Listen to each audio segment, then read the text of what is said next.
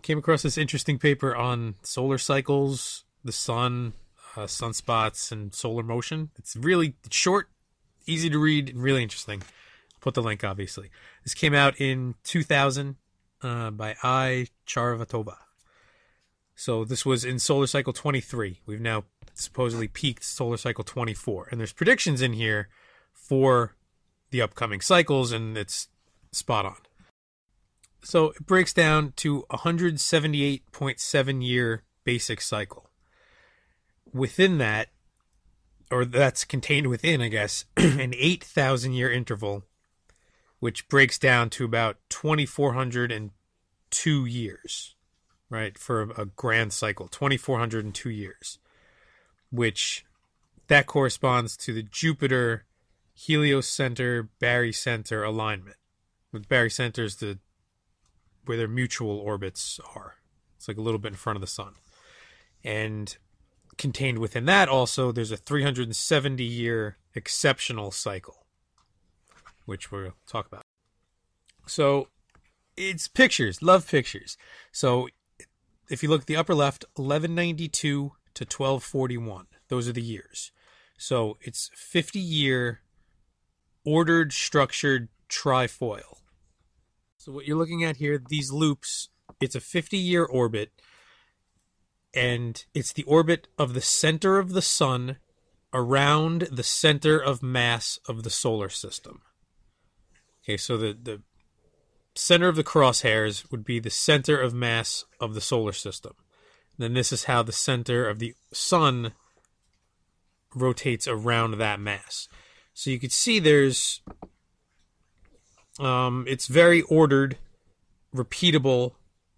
It's it's identical. It just rotates. So so the 50 year ordered pattern from 1192 to 1241, then a transitional period of about 30 or 29 years, and then it gets completely chaotic and random for uh, 70, 80 years. 80 years, and that's the Wolf minimum. And then the transitional period of 20 and a half years, and then you go back into the trifoil from 1370 to 1419 and a half 11 and a half years transition and then it goes Spörer minimum another uh, random chaotic not predictable pattern and then back into the trifoil.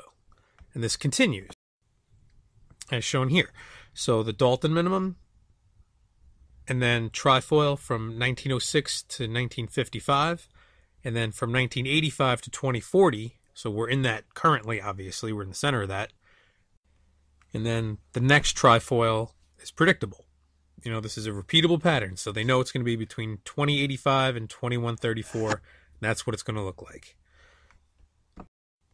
This also influences directly sunspot cycle length. Okay, so you have the years, 8 years, 10 years, 12 years, and 14 years, and then the solar cycles on the x axis. So starting from 0 to 4, um, that dashed line there is at 10 years, because that interval with the vertical dashed lines is the same orbital pattern, identical orbital pattern as from 15 to 19 right, with the other vertical dash lines, and you can see those are all at exactly 10 years. And it's possible that, you know, the earlier data, because that was from like the 1700s, you know, maybe it was just data error or, you know, unreliable observations, and it really was 10 year solid across. So um, when you get out of the ordered system, the sun, spike, sun cycle, sunspot cycle length varies. So now you have this, and it's going to overlay again with the orbital pattern there, so you can see exactly identical. Right, it's just it rotates around. So the disordered sections of orbit have varied sunspot sunspot cycle length periods compared to a solid 10 year period based on the the trifoil orbit. And then also you can or they have overlaid uh, sunspot number so how strong the cycles are.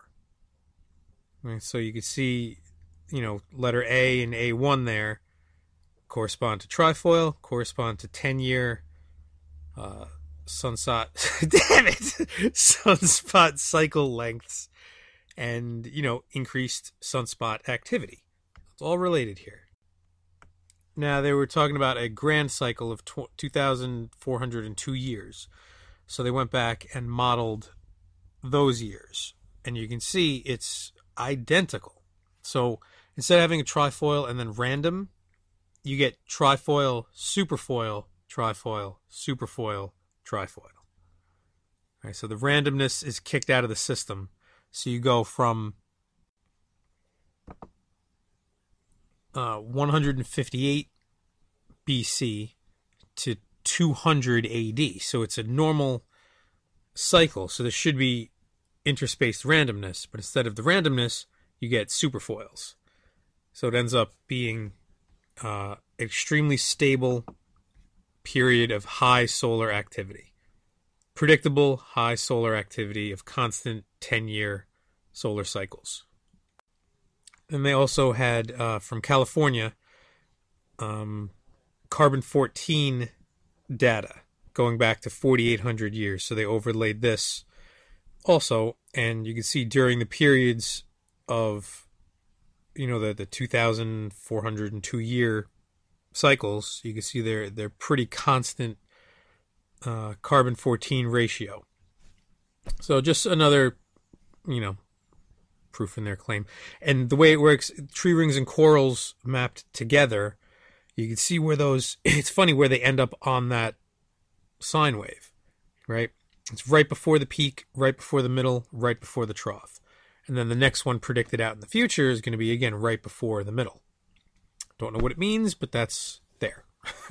so I guess there's a little little lag time on our end, I guess. So go, moving from pictures back to words, unfortunately. So saying so you can compute it in advance.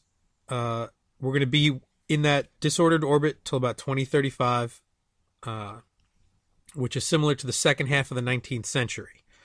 The sun should develop. Remember, they wrote this in 2000 or 1999, so before everything that's happened recently. The sun should develop lower solar cycles of variable length. Um, the initial development of solar cycle 23, now in its third year, confirms this for the present cycle. And 24 has been lower and more variable. And then they stuck this paragraph. This is the very end, the last paragraph of the conclusion. It's this is great. It really doesn't have anything to do with the rest of the paper, but fits in completely to current theories. So the individual solar spheres must surely respond to solar motion in distinct ways, provoking on the boundary layers a solar dynamo. The thin layer at the boundary between radiative and convective zones, where a shear flow has been found by the satellites, is likely to be the place where the solar dynamo operates. The results indicate that solar dynamo that was long sought in the solar interior operates more likely from the outside by means of varying planetary configurations, as has been shown by Charvatova, same authors as this paper.